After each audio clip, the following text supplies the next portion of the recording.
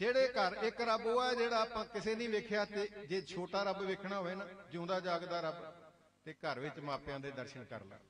ਮਾਈ ਬਾਪ ਹੀ ਰੱਬ ਵਾ ਇਹਦੇ ਵਰਗਾ ਕੋਈ ਰੱਬ ਨਹੀਂ। ਜਿਨੇ ਤੁਹਾਨੂੰ ਜਨਮ ਦਿੱਤਾ ਹੈ, ਜਿਨੇ ਤੁਹਾਡੇ ਪੋਤੜੇ ਧੋਤੇ ਆ, ਜਿਨੇ ਤੁਹਾਡਾ ਮੈਲਾ ਚੁੱਕ ਚੁੱਕ ਕੇ ਸੁੱਟਿਆ ਜਿਹੜੀ ਮਾਂ ਨੇ ਸੌਂਫ ਮੂੰਹ ਵਿੱਚ ਪਾ ਪਾ ਕੇ ਚਿੱਥ ਜਿੱਤ ਕੇ ਚਿੜੀ ਦੀ ਚੁੰਝ ਵਾਂਗ ਤੁਹਾਡੇ ਮੂੰਹ ਵਿੱਚ ਪਾ ਕੇ ਤੁਹਾਨੂੰ ਤੰਦਰੁਸਤ ਕੀਤਾ ਹੈ। ਜਿਹੜੇ ਮਾਪਿਆਂ ਨੇ ਤੁਹਾਨੂੰ ਪਾਲ ਕੇ ਜਵਾਨ ਕੀਤਾ ਹੈ, ਜਿਹੜੇ ਮਾਪਿਆਂ ਨੇ ਪੜਾਇਆ ਹੈ, ਜਿਹੜੇ ਮਾਪਿਆਂ ਨੇ ਵਿਆਹ ਕੀਤਾ ਹੈ, ਜਿਹੜੇ ਮਾਪਿਆਂ ਨੇ ਘਰ ਬਣਾ ਕੇ ਦਿੱਤਾ ਹੈ, ਜਿਹੜੇ ਮਾਪਿਆਂ ਨੇ ਜਾਇਦਾਦ ਬਣਾ ਕੇ ਦਿੱਤੀ, ਉਹ ਮਾਪੇ ਰੋਲਿਓ ਨਾ। ਇਹ ਰੱਬ ਨੇ ਇਹਨਾਂ ਦੀ ਸੇਵਾ ਕਰੋ ਜਿਉਂਦੇ ਚੰਗੇ ਕਰਮ ਕਰੋ ਪਰਉਪਕਾਰ ਕਰੋ ਮਾਪਿਆਂ ਦੀ ਸੇਵਾ ਕਰੋ। ਇੱਕ ਗੱਲ ਨੁਕਤੇ ਦੀ ਕਹਾਂ ਬੀਬਾ? ਇੱਕ ਗੱਲ ਨੁਕਤੇ ਦੀ ਕਹਾਂ ਬੀਬਾ?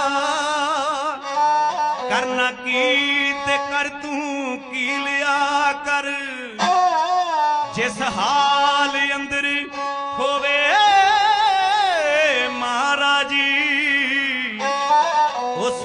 ਉਸੇ ਅੰਦਰ ਬੀਬਾ ਜੀ ਲਿਆ ਕਰ।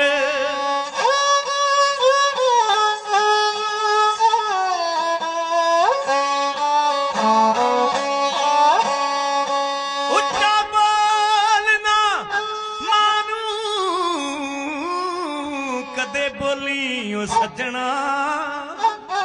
ਉੱਚਾ ਬੋਲ ਨਾ ਮਾਂ ਨੂੰ ਕਦੇ ਬੋਲੀ ਮਾਂ ਦੇ ਸਾਹਮਣੇ ਬੁੱਲਾਂ ਨੂੰ।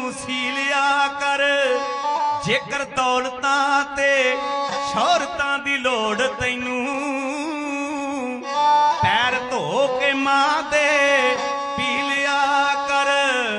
ਪੈਰ ਧੋ ਕੇ ਮਾਪਿਆਂ ਦੇ ਪੀ ਲਿਆ